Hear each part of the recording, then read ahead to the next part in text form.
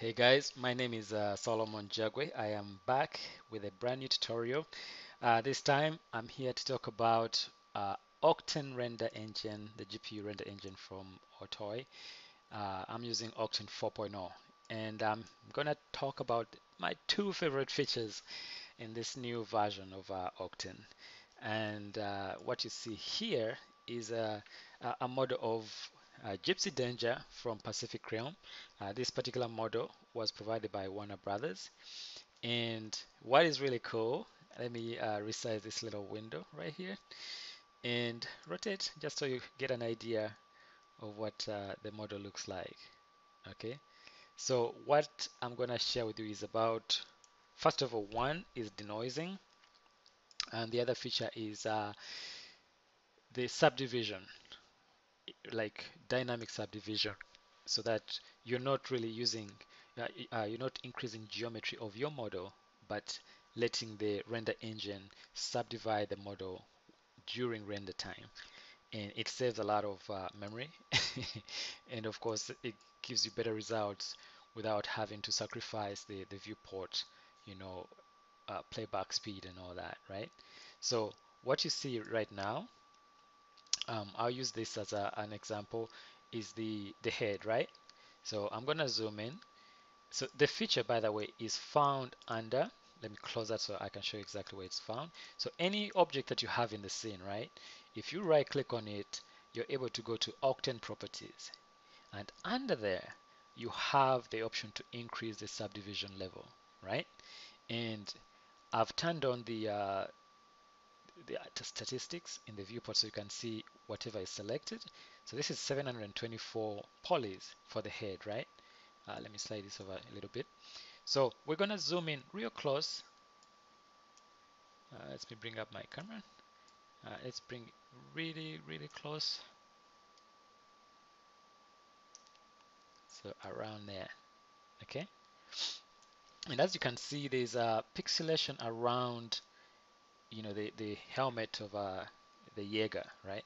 And if I rotate the camera, uh, you can see what I mean. So there are some jagged edges here. For, so if you want like a really close-up shot of the the Jaeger, you're gonna see some artifacts here and there, right? And so what Octane offers is a, this really neat feature called subdivision level. So watch what happens. I'm gonna. It's right now it's zero. I'm gonna type in one. Watch what happens. Boom. You get a very nice subdivision of the helmet, and this is really cool. And the viewport is not suffering at all because all this is happening on the graphics card and using your GPU memory and, and, that's what's really cool so you can do this for the entire body it doesn't have to be just one part but look how nice that is right compared to if it were just zero right? So you get a jaggedness. And so if I zoom out and pick another part of the body, so we're gonna go to the actual body itself so we can see if we can improve on that. So now there are some parts that you may want to retain some, you know, like if you had edge loops, you might be able to retain this like point right now. But if I add subdivision to the body just by itself. Right now it's on zero and I put one on it.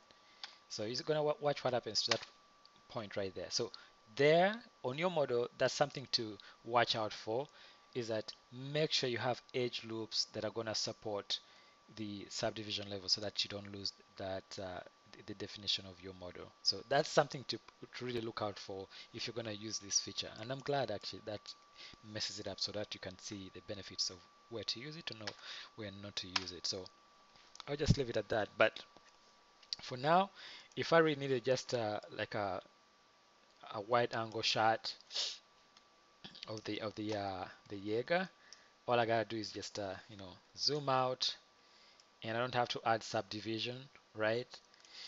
But if I need to do like a, a close-up shot, if I create like another camera, uh, so I could select this camera and just duplicate it and clone it, and then I'm able to go in real close to this this uh, particular uh, point of the model and then before I render out the animation I just enable the subdivision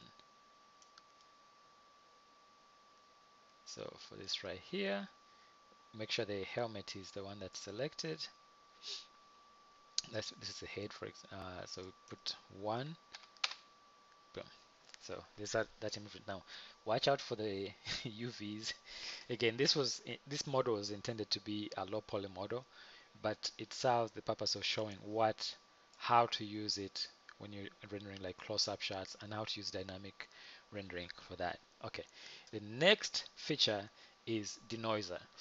And so right now it's taking about it's going it says for at 2000 samples it's going to take about uh, about maybe 56 58 uh, seconds okay? So if I reach a point where I'm like okay at 587 I am happy with the way the, the model looks right? And I'll go over like here and I'm like okay at this point at around 50 uh, let's say about 139 I'm happy with it right? The way the quality of the uh, render looks. So I can set it to exactly 150 139 and stop there but use denoiser to speed it up. So I'll go over here to my kernel. Scroll up.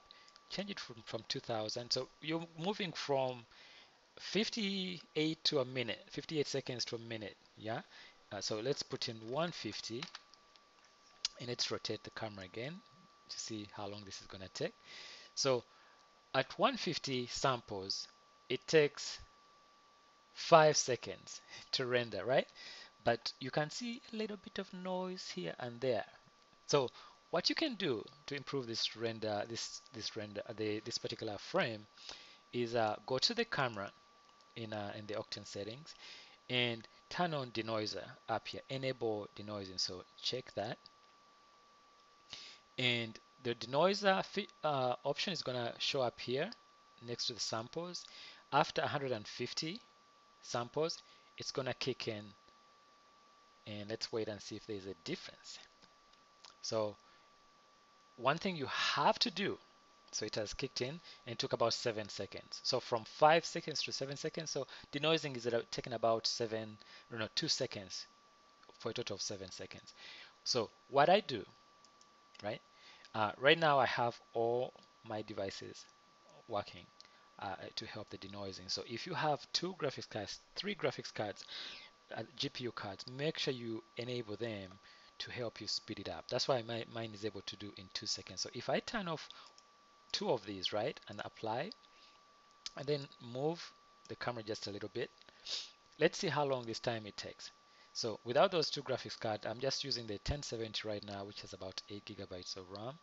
So it took 8 seconds 7 seconds to finish and at 150 so that was pretty cool right so you can improve it again right now my two cards the 640 and 780 are not as powerful as a, a GTX 1070. So the, the stronger or the more powerful the graphics card, the faster it is gonna work for the denoising. But make sure that you, you uh, take advantage of any cards. And the denoising is actually it's it works on some cards and it doesn't work on others.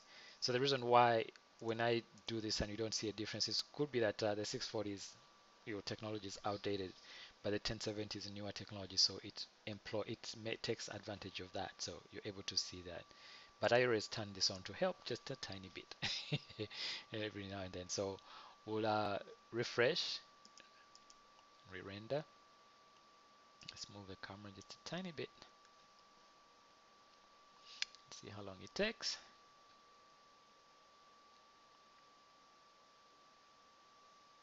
So seven seconds is pretty good. So we went from 58 seconds 58 seconds to a minute to 7 seconds. And uh, the render right now what you see is actually not the final result because this is just the beauty pass.